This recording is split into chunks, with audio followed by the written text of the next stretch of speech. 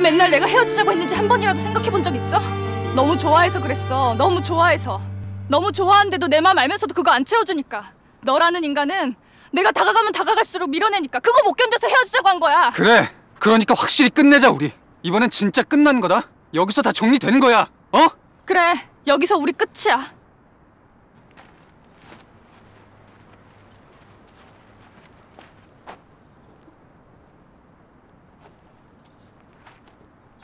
윤석현, 이 짝대기 잘 봐.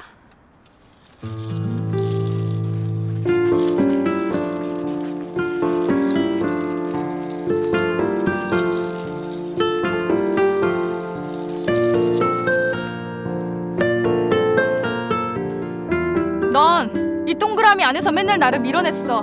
나는 네가 날 밀어낼 때마다 싸워도 보고 매달려도 보고 기다려도 봤어. 너무 힘들고 외로웠어. 근데 이제 그렇게 안 살 거야. 진짜 끝이야. 넌 좋겠다. 이 동그라미 안에 혼자 남아서. 넌 이 동그라미와 함께 영원히 혼자야.